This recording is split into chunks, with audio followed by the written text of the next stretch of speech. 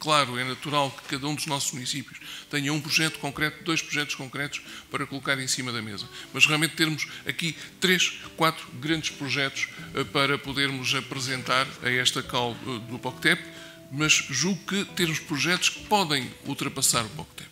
Nós temos de ser ambiciosos e ambiciosos do ponto de vista transfronteiriço e ambiciosos do ponto de vista das ligações de um e do outro lado, se queremos que os nossos territórios, na indústria, no turismo, no agro e também nos vinhos, possam continuar a fazer um bom percurso. Termos ambição, termos estratégia, termos projetos concretos bem estruturados para apresentar e depois sermos capazes de fazer lobby nos nossos, nos nossos governos. E eles são aí absolutamente essenciais.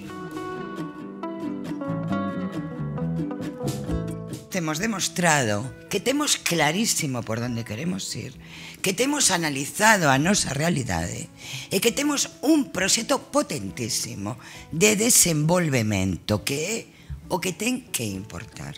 E polo tanto, eu reclamo que xoguemos máis papel, ser territorio transfronterizo. É unha potencialidade que todos os gobernos o do Estado e os autonómicos teñen que ter como un valor. Somos un modelo a seguir.